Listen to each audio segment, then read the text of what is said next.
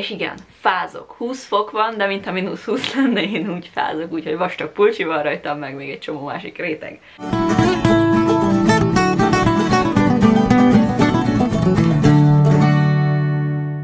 Sziasztok, Matilda vagyok, és a mai videó egy thriller ajánló lesz. Nem nagyon olvasok ilyen könyveket, úgyhogy mikor kitaláltam, hogy október lesz, vagy hát ősz van lassan október, és így Halloween szezon, meg ilyen ijesztő szezon, és itt egy muslinca, ez lehet látszódott, hogy így elcikázott. Mindegy, szóval mivel ilyen őszies hangulatú ajánlót akartam, és ez egy kicsit olyan, ami nem nagyon szokott lenni, ezért gondoltam, jó ötlet, és már régen volt ilyen tematikusabb ilyen fajta ajánló, ilyen ez a három könyvet ajánlok volt, romantikus, volt lovas, volt disztópia talán, úgyhogy most hozok egy thriller ajánlót. És a bolyhu címkék alapján válogattam össze azt a 3 plusz 1 könyvet, amit ma ajánlani fogok, úgyhogy ha valamelyik nem lenne pontosan olyan, akkor ne haragudjatok, de nem mindig vagyok tisztában az ilyen címkéknek a fogalmaival, meg hogy mi minek számít de szerintem egyébként az elem, ami így, amire így menni akartam, ez az ijesztős-szerű, ijesztő, thriller-szerűséges dolog, ez benne van mindegyikben. Na jó, szóval akkor neki. Négy könyvről lesz szó, tehát 3 plusz 1-ről, mert az egyik nincs lefordítva. A négyből kettő nincs is meg nekem itt jelenleg kéznél, úgyhogy azokat majd ide szépen bevágom, ahogy szoktam. Na de kezdjük, thriller ajánló. Az első könyv az nem más, mint a Horror Stör. Nem jut eszembe hirtelen az író neve és fejből, nem tudom, nem írtam föl, hülye vagyok, mindegy. Szóval az első könyv a listán a Horror Stör. Ezt a könyvet tavaly októberben olvastam, nem, tavaly nyáron, tavaly olvastam valamikor, az a lényeg, ezt tudom. Ennek a könyvnek a legnagyobb különlegessége egyébként az, hogy úgy van megcsinálva, mint egy bútoráruház katalógus, ami roppant menővé teszi az egészet, tehát eleve úgy néz ki tényleg, ahogy így az ember fölveszi, mintha egy IKEA katalógus lenne, vagy valami hasonló. És az egész belső is így van megcsinálva, tehát hogy így a fejezetek is ilyen bútorokra van osztva, meg ilyesmi, úgyhogy nagyon jól néz ki a dizájnja, és nagyon ötletes.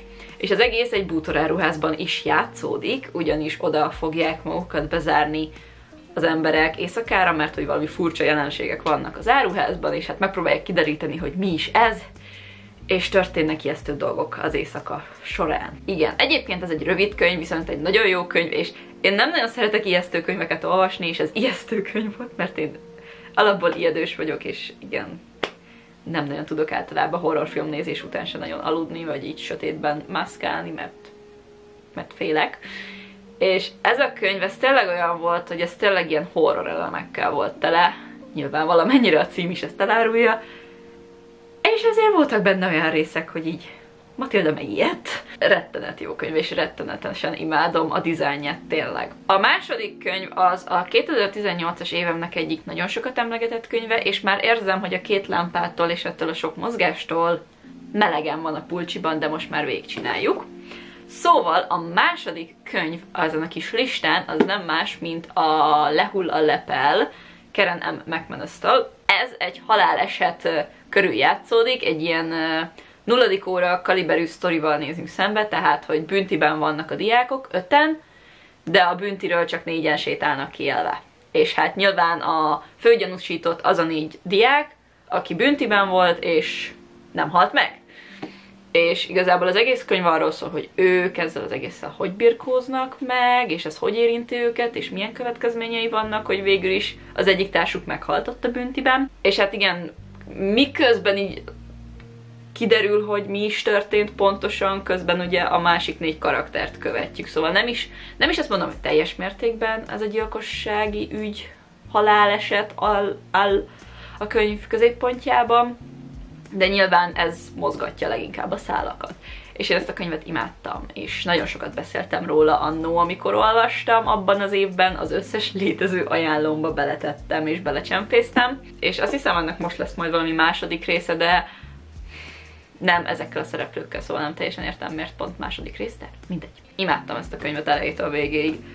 Igen, azt hiszem egyszerűen mondtam, hogy egy ponton falhoz hajítottam volna, de aztán gyorsan korrigált az írónő szerencsére, bár az felesleges stresszkeltés volt egyébként. A harmadik könyv egy olyan trilógia, amit egyébként én... Mi ez? Jó, semmi. Szóval, amit egyébként én a Barangolás Európában sorozatomhoz olvastam, ugyanis finn szerző Salla Simuka, fogalmam sincs sajnos finnül, hogy kell ezt kiejteni, úgyhogy ne haragudjon, aki tudja, és rosszul ejtem. Tőle pedig a Hófehér trilógia, aminek a részei a Vérvörös, a Hófehér és az Ében Fekete. Ez is egy ilyen uh, thriller sorozat, azt hiszem, legalábbis rajta volt a thriller címke, úgyhogy ezért kiválasztottam moly.hu-ról ezt is, de ebben is uh, különböző büntények vannak, mind a három részben más, és nagyon sokat beszélek erről, van egy egész hosszú videóm egyébként a trilógiáról a Barangolás Európában sorozatom keretein belül, úgyhogy azt ide be is linkelem majd föntre szépen, hogyha valakit valamit kiadnék, és valakit érdekel, bővebben megnézhesse tekint, vagy ez egy tavaly februári videó, úgyhogy nyilván abban még jobban emlékszem a történetre, mint így egy másfél évvel később. Egy ilyen tök pörgős sztori, egy nagyon bedesz főszereplő csajjal, és nem az a tipikus young adult könyv, amit az ember várna, mert azt hiszem young adult kategóriás ez is, és hogy nem arról szól, hogy ú, van valami szerelmi szál közben, meg valami, nem. Ez arról szól, hogy ezekre tök rövid könyvek, tehát ilyen két, 200 oldal az mind a három, azt hiszem, igen, tehát ilyen 200 oldalak, és tényleg tömören arra fókuszál, ami a sztori, hogy van valami bűncselekmény, bűntény, valami rejtély, és azt a főszereplő lány ö, valahogy megoldja, vagy hát úgy megy utána, és ért okos és értelmes, és próbál megoldást keresni a problémákra. Nagyon jó. És bocsánat, hogy nem mondok most többet, de tényleg több mint egy éve olvastam, úgyhogy annyira már nem stabilak az emlékeim róla. De ott a link a Barangolás Európában részről, és ebben részletesen mesélek róla. És egyébként nagyon jó volt, tehát nekem különösen tetszett, hogy nem ilyen, nem ilyen tipikus volt. És ráadásul finn könyv is, úgyhogy ha valaki mondjuk szeretné bővíteni a nemzetiségek listáján, hogy kiktől olvasott, akkor nagyon jó választás ahhoz is. És igazából van ez a fajta ajánlom, amiben így egy témában három könyvet ajánlok, de van még egy könyv, amit mindenféleképpen szerettem volna belecsempészni, de mivel ez nincs lefordítva magyarra, ezért nem akartam így a fő háromba beleépíteni, hogy ez ilyen plusz egy, ez pedig Claire McIntosh-tól az ICU, ennek egy ilyen jó borongós őszi borítója is van. Ez a könyv nagyon ilyen disturbing volt, tehát egy alapjáraton nem volt ijesztő, meg ilyesmi, de hogy egy olyan témát boncolgatott, ami így ijesztő volt amúgy, és maga a, a téma is, csak újra kell indítanom a kamerát. A sztoria az körülbelül az, hogy van egy ilyen oldal, ami, és már ránéztem a hátuljára, de nincs rajta a fűszöveg, mert belül van. Mindegy, van egy ilyen oldal, ami uh, segít férfiaknak, vagy hát igazából akárkinek, aki be tud rá regisztrálni és előfizet, nőket követni a CCTV.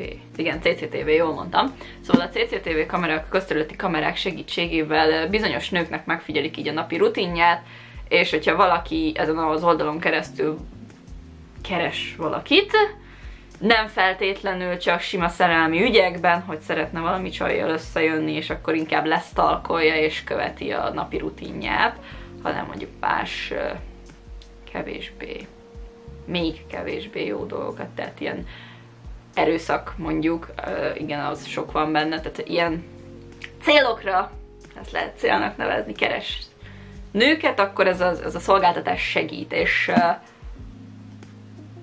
roppant érdekes a könyv, és a végén roppant rosszul éreztem magam, amikor uh, a leges legutolsó oldalon kiderült, hogy ki áll az egésznek a hátterében, és így elolvastam, és így hú, oké. Okay.